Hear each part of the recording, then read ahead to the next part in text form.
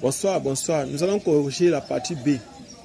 On dit de pour étudier la réponse de l'oscillateur RLC à une fréquence de F2 du GBF, on modifie le circuit précédent et on visualise simultanément la tension UDT sur la voie X et la tension UCDT aux bornes du condensateur sur la voie Y. Les oscillogrammes C et D ci-dessous sont visualisés sur l'écran d'un oscilloscope, figure 3. Donc c'est ça ici. Voilà, figure 3. Et on dit donc maintenant, dans la suite, que représenter, sur, représenter le schéma du circuit qui convient et donner les branchements de l'oscilloscope. Question 2. Identifier l'oscillogramme C et D. Troisième question. Déterminer la valeur de la fréquence F2. Puis montrer que le circuit est le siège d'un phénomène de résonance d'intensité. Question 4. Calculer la valeur I0 de l'intensité efficace du courant qui traverse le circuit. Cinquième question, calculer la capacité et l'inductance L. Donc nous allons immédiatement commencer. Si vous êtes nouveau sur la chaîne, abonnez-vous et cliquez sur la cloche de notification. Je suis Job Camden du groupe de répétition Nabla au Cameroun. Donc nous dit maintenant, on va d'abord encore un peu relayer. On nous dit que euh, on a remplacé le circuit. On a par exemple, le schéma du circuit a été modifié précédent. On visualise maintenant simultanément la tension UDT sur la voie X et la tension UC de T aux bornes du condensateur sur la voie Y. Ce que nous allons faire, on va donc passer à la solution. Solution.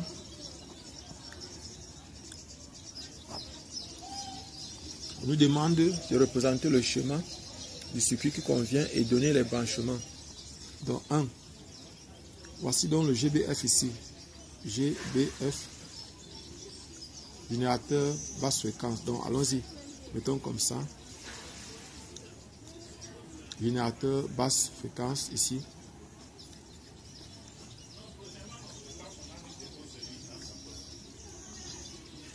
Ici, on va prendre le condensateur C. Et ici, on aura le résistor. Et ici, on va mettre la masse.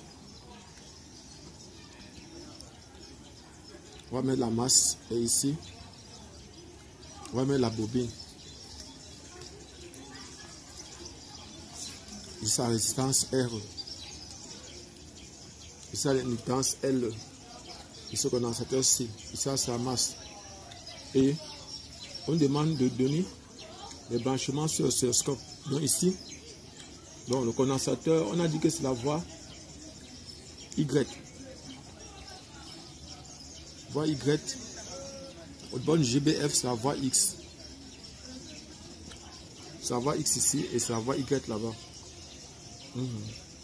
Donc maintenant, ça signifie que sur la voie Y, sur la voie X, on va visualiser la tension bonne du GBF et sur la voie, c'est toujours entre la masse et la voie X. On va visualiser la tension bonne du GBF et la voie Y. On va visualiser la tension bonne du condensateur. Maintenant, ça c'est la première question. Petit 1. La deuxième question, donc maintenant, petit 2. On demande d'identifier les oscillogrammes C et D. Voici les oscillogrammes C et D ici.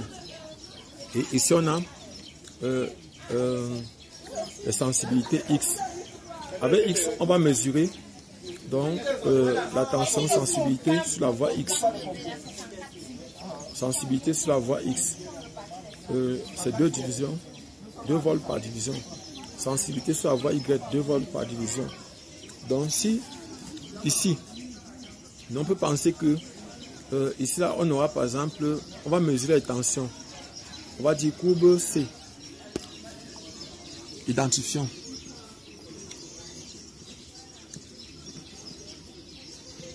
Les oscillogrammes.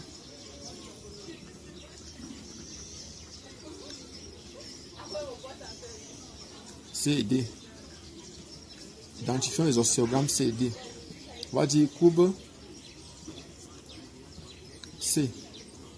on a par exemple ici, donc on a dit que partout c'est 2 volts par division. Donc nous on a, on a, pour calculer la tension maximale, ici on a 3 volts, on a 3 divisions. On a dit 2 volts correspond à une division. Et maintenant U max 1. Ça c'est U C. UC max correspond à combien de divisions? À 3 divisions. Donc ça va faire UC max égale à 6. 6 volts. Maintenant courbe D. Courbe D, on a 2 volts correspond à une division. Et ici maintenant on aura UD max qui correspond à combien de divisions? On a 4 divisions. 4 divisions. 4 divisions. Donc ça va faire UD max égale à 8 volts. Voilà ce qu'on a. UD max égale à 8 volts. Donc, nous maintenant, ce qu'on va faire, c'est quoi?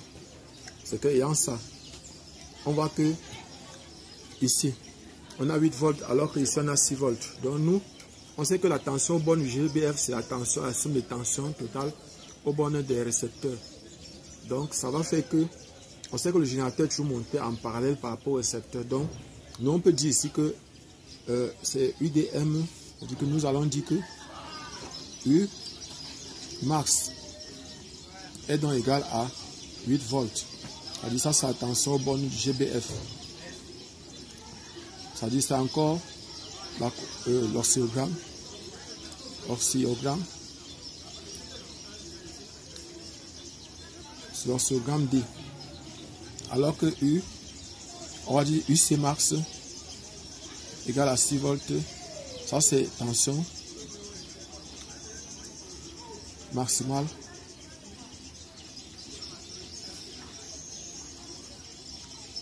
Au bornes de C, du condensateur C. Donc, et ici, ça, c'est encore la courbe, c'est l'oscillogramme C. Donc, voilà ce qu'on a obtenu. On a répondu à la deuxième question. Nous sommes maintenant, on va donc répondre euh, maintenant la question 3. On dit déterminer la fréquence F2, puis montrer que le circuit est le siège d'un phénomène de résonance d'intensité. Donc, on va dire question 3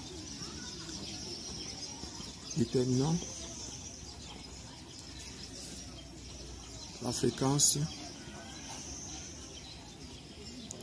F2 et montrons que bon en fait on détermine d'abord la fréquence.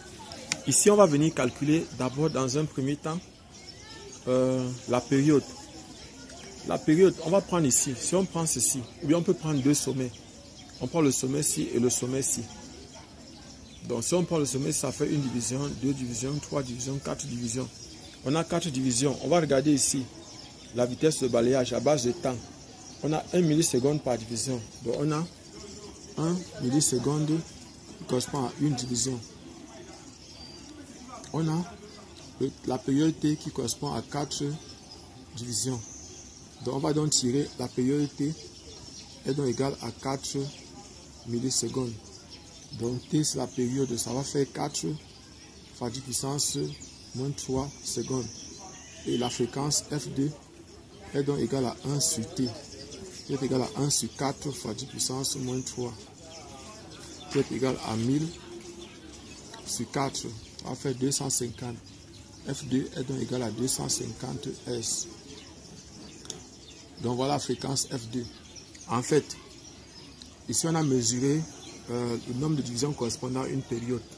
C'est 4 divisions. Donc on a trouvé une période 1 milliseconde. Milliseconde, c'est 10 puissance moins 3 secondes. On a donc tiré la fréquence F2. Nous allons donc montrer que ici, on va donc montrer que euh, la tension au borne du condensateur, si on a ça, hmm, on sait qu'à la résonance, euh, donc, montrons que qu'on est à la résonance d'intensité. Montrons qu'on a la résonance d'intensité. Bon, à la résonance d'intensité, ce qu'il faut savoir, c'est que quoi? C'est que déjà, oméga est égal à oméga 0. Et Z, il y a beaucoup de conséquences à la résonance d'intensité. Il y a plusieurs choses qu'on peut montrer. On peut montrer que UC max est égal à UL max. UL max. On peut montrer que U max est égal à UR max. On peut montrer que ici le déphasage est égal à 0. On peut montrer que le déphasage phi est égal à 0. Donc essayons de calculer ici euh, le déphasage. On va essayer de calculer. On peut essayer de calculer le déphasage ici. Mhm. On peut essayer de calculer le déphasage ici. Mais déjà, est-ce qu'on peut facilement calculer? UC mhm. max, U max, oui, on peut calculer, mais comment faire pour trouver UL max? Bon, est-ce qu'on a des informations? Non, on n'a aucune information qui nous permette euh, de calculer, par exemple, euh, je connais, qu'est-ce que dit euh, Je peux déterminer ici, là, max, je connais la valeur de R. Mhm. R est égal à 150. Bon, allons-y, essayons de calculer le déphasage.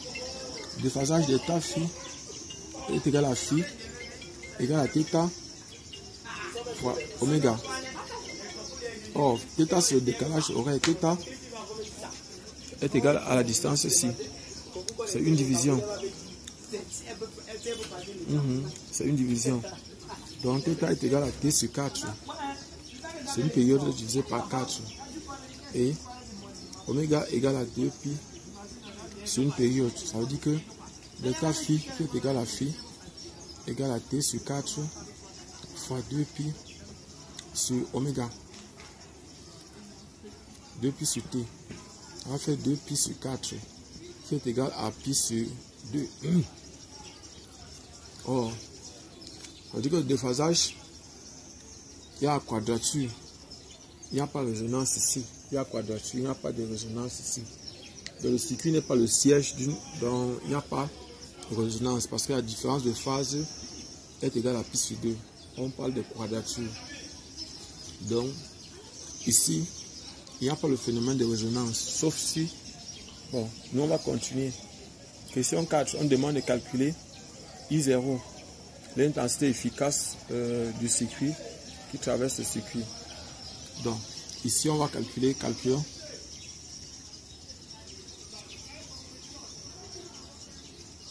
Mhm. Donc, si on fait euh, oui, le déphasage, normalement, c'est plus sur 2. Euh, ça, c'est le déphasage. Et j'ai oublié ici, s'il vous plaît. Déphasage ici. Oui, donc ici, euh, ce qu'il faut savoir, c'est que quoi? C'est que, comme on a dit ici, euh, on, a, ça, on a ça, phi est égal à 0, et on sait aussi que, ou encore, ou encore, ici, comme on a un déphasage, on doit avoir phi égal, voilà l'absurde de phi, doit être égal à phi u moins phi i en valeur absolue qui doit être égal à pi sur 2. Donc, le déphasage ici doit être égal à pi sur 2 si on a la résonance. Donc maintenant, nous, ce qu'on va faire, c'est quoi? Ce qu'on a trouvé bien et bien pi sur 2.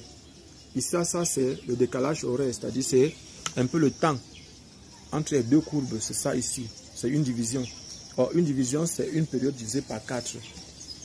Donc, ce que nous allons faire maintenant, donc, nous, ici, en fait, on a la résonance parce que, pourquoi on a la résonance? Parce que, voilà, on va faire la représentation de Fresnel. De Fresnel. Fresnel. Donc voilà la représentation de Fresnel. On aura ici par exemple euh, la tension. On a ici U, U max. Ça c'est UR max. On a ici U, L max. Et ici c'est UC max. Bon, ça c'est la représentation normale. Mais dans notre cas, on n'aura pas quelque chose comme ça. Pourquoi? Parce que simplement, on a dit que la bobine avait une résistance interne. Donc, on doit tenir compte de la résistance interne de la bobine. Et cela, ce que nous allons faire, c'est une représentation de Fresnel comme ceci. On va faire une représentation de Fresnel comme ça. Ça, c'est U. U, R max. Et ici, là, par exemple, on va venir ajouter ici. Ça, c'est RI max. Et ici, donc, maintenant, on va venir au niveau d'ici. Hmm. On va venir ici ajouter U. Mhm. Ça c'est UL. Donc ça c'est. Voici, c'est tout ceci qui est UL max.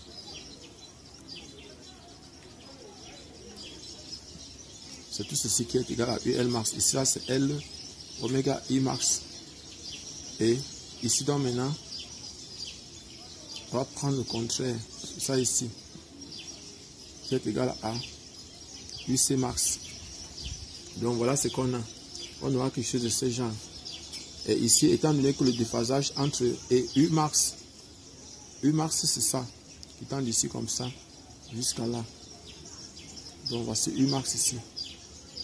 Donc U max, U max est donc égal à UR max plus RI max.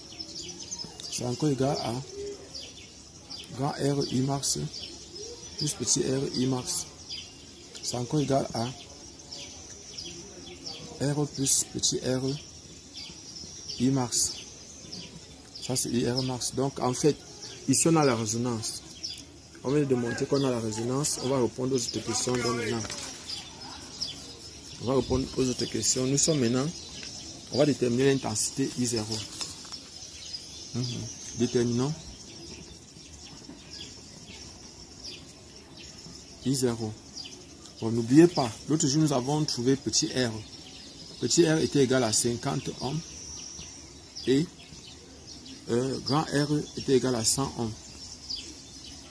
Donc, nous avons calculé U, U max. U max était égal à 8 ohms. Et on va donc déterminer I max égale donc à U U max sur R plus grand R. va faire 8 plus 100 plus 50. Ça fait 8 divisé par 150. Donc si on a 8 divisé par 150, et puis maintenant, hmm, ça va faire 8 divisé par 150. Donc on va essayer de calculer 8 divisé par 150 avec une calculatrice, une calculette, ça fait 0,053. Ça fait 0,053 ampères. Or, on sait que ça c'est I max. I max égale à I0 racine de 2. On va donc tirer I max, I0. I0 est égal à I max sur racine de 2. On va faire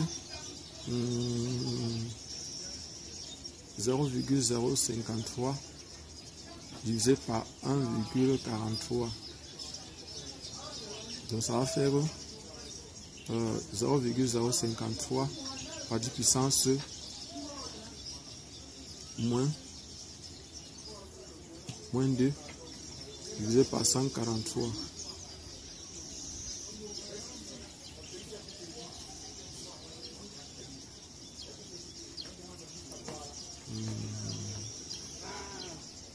passant ici en bas, passant ici en haut. Non. Passant ici en haut, ça va faire 5,3. Donc ça va faire 5,3. Oui, divisé par 143 fois 100. Je vais faire fois 100. 100 égale divisé par 143, 143, 1,41. C'est 1,41 plutôt. 143, 41 égale à 0,037. Donc I0 est égal à 0,037. On va dire, on va arrondir à 8 ampères. Donc voilà la valeur de I0. Nous allons donc maintenant répondre à la dernière question, question 5. Calculer la capacité et l'indutance. Mhm. Donc ce qu'on va faire, calculons la capacité C. Et nous sommes à la question 5. Et L, la capacité C et l'indutance L. On a UC max qui nous a donné 6. C'est encore égal à quoi? C'est encore égal à I max sur C oméga. On va donc tirer C est donc égal à I max sur U C max fois oméga. Oméga est égal à 2 pi F, donc ça va faire C égale donc à I max sur UC max sur 2 pi F. Sur 2 pi F. Donc voilà la formule qu'on va utiliser pour trouver C. Cette formule, c'est que nous allons utiliser pour trouver C. Donc, application numérique, C est égal à I max. I max c'est 0,053 divisé par U max. UC max c'est 6. 6 fois 2 fois 3,14 fois 250. Euh, La fréquence, on a trouvé 250. On a trouvé 250. Donc ça, c'est un calcul que vous pouvez faire vous-même. Et maintenant, pour trouver F, euh, la fréquence F, pour calculer F, donc, euh, pour trouver L, L c'est l'indutance, c'est égal à quoi? On sait qu'à la résonance, à la résonance d'intensité, d'intensité,